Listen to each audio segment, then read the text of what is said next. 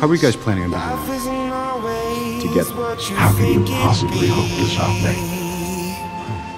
Like the old man said. Together.